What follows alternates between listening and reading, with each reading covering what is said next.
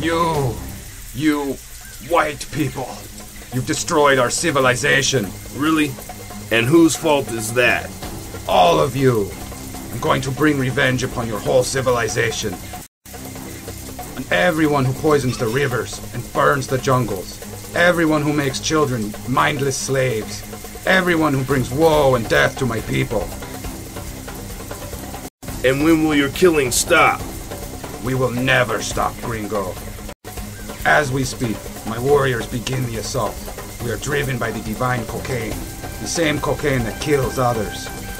Our gods have made us immune, and we shall wash away all the earth in a river of blood to feed our gods. Every death will make the gods stronger and give us more power. Only one step is left. You're insane. Your gods aren't real, and this has to come to an end. You're a bunch of murderous beasts blinded by rage and hate in their eyes. You are blind. You know nothing. You're just a puppet in the hands of your puppeteer. You think you found the truth? Figured out everything? Understood everything? You've learned nothing. How dare you insult my gods and desecrate their temple? Now you will see their true power. I will kill you. Better hope that cocaine's cut with Kevlar, you son of a bitch.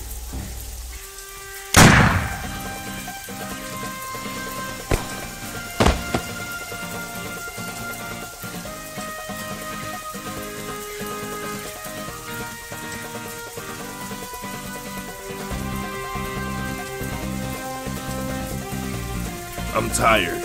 People kill each other for money, for politics, for trust. Evil that was caused by people hundreds of years ago is staying in people's memory and waiting for its time. Years and ages pass, but the evil does not.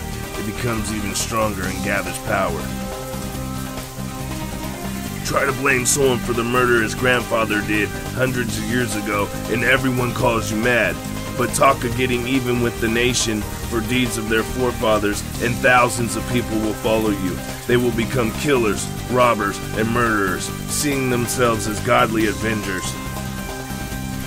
Is there any possibility for people to learn and to forgive?